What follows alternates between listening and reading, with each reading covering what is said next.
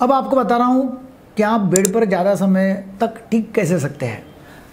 हो सकता है कि आपका टेस्टोस्टेरोन लेवल कम है और वो आप बढ़ाना चाहते हो तो उसके लिए क्या इलाज है, उसके बारे में बातचीत करने वाला हूँ। मेरा नाम है डॉक्टर दीपक गेड़कर मैं मनोविकार सेक्स रोग सम्मोहन तथा व्यसन मुक्त धन्य महाराष्ट्र में पिछले इकतालीस साल से अकोला में प्रैक्टिस कर रहा हूँ।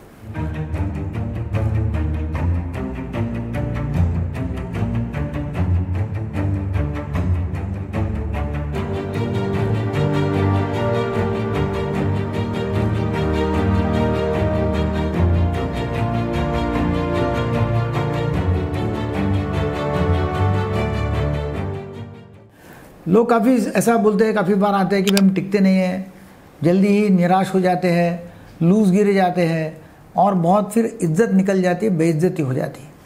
उसके लिए करना क्या है? आपको क्या करना है कि every three months testosterone level check करना है। टेस्टोस्टेरॉन लेवल जो है ना, वो दो तरह से टेस्ट किया जाता है। एक है टोटल टेस्टोस्टेरॉन लेवल वो है 8.7 टू 29 नैनोमोल्स पर लीटर यह आप टेस्ट कर सकते हैं पैथोलॉजी लेबोरेटरी में। और दूसरा है फ्री टेस्टोस्टेरॉन लेवल जो है 0.2 टू 0.6 नैनोमोल्स पर लीटर अब ये रेंज में है तो कोई प्रॉब्लम नहीं है। पर ये रेंज में नहीं है तो डेफिनेटली आपको टेस्टोस्टेरॉन लेवल अपनी बढ़ानी पड़ेगी। टेस्टोस्टेरॉन मसल मास के लिए बॉडी के लिए एनर्जी के लिए बहुत अच्छा होता है। टेस्टोस्टेरॉन लेवल से एक तो सेकेंडरी सेक्सुअल कैरेक्टरिस्टिक डेवलप होते हैं और आपका जो सेक्सुअल परफॉर्मेंस है वो अच्छा होता है। टेस्टोस्टेरॉन ये सेक्स हार्मोन है, वो सेक्स के लिए बहुत ही ज़रूरी है। तो आइए हम देखते हैं कि नेचुरली कैसे उसको बूस्ट कर सकते हैं। नंबर एक है डाइट यदि आप प्रोटीन रिच डाइट लेते हैं और specially zinc containing diet beans legumes तो ये बहुत कारगर है। डाइट आप लेते हैं उससे टेस्टोस्टेरॉन बढ़ जाएगा। नंबर दो जो है वो है स्लीप सात से आठ घंटे आप स्लीप लेते हैं, सोते हैं। तो स्लीप ये क्या होता है कि एक रीजनरेटिंग मैकेनिज्म है ये।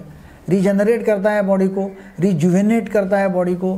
तो स्लीप लेना और बीच बीच में अपने काम से गैप लेना बहुत ज़रूरी है।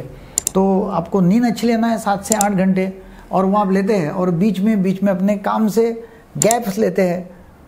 बाहर जाते हैं कुछ घंटों के लिए, एक दिन के लिए तो दिमाग को शांत करेगा।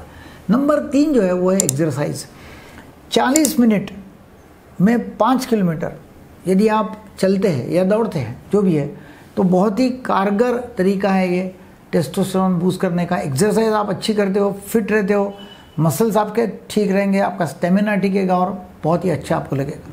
नंबर चार जो है, वो है स्मोकिंग एंड अल्कोहल ये एकदम दुश्मन है टेस्टोस्टेरोन के। स्मोकिंग बंद करना चाहिए अल्कोहल बंद करना चाहिए, क्योंकि इससे बहुत बड़ा नुकसान होता है। पांचवा जो पॉइंट है, वो है टेस्टोस्टेरॉन बाहर से लेना। टेस्टोस्टेरॉन कम है हो सकता है हाइपोगोनेडिज्म आपको है।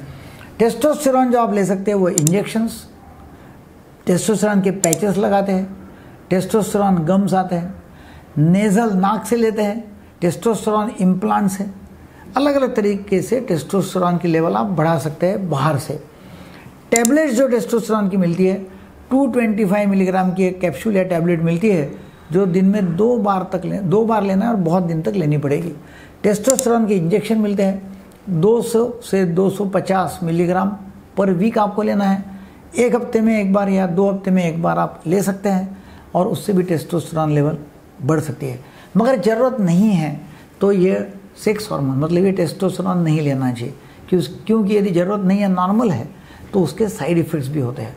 तो वो डालने के लिए टेस्टोस्टेरॉन वैसा नहीं लेना चाहिए। जितना हो सके उतना आप नेचुरल उसको बढ़ाओ। और नहीं है, बहुत ही कम है तो फिर आप बाहर से टेस्टोस्टेरॉन ले सकते हैं। क्योंकि टेस्टोस्टेरॉन लेंगे तो आपका स्टेमिना बढ़ेगा, आपके सेक्स कैरेक्टरिस्टिक्स आपका प्लेजर आपका परफॉर्मेंस आपका बॉडी मास आपकी एनर्जी सभी अच्छी रहेगी। वीडियो आपको अच्छा लगा तो ज़रूर लोगों को शेयर करो लाइक करो सब्सक्राइब करो। Thank you very much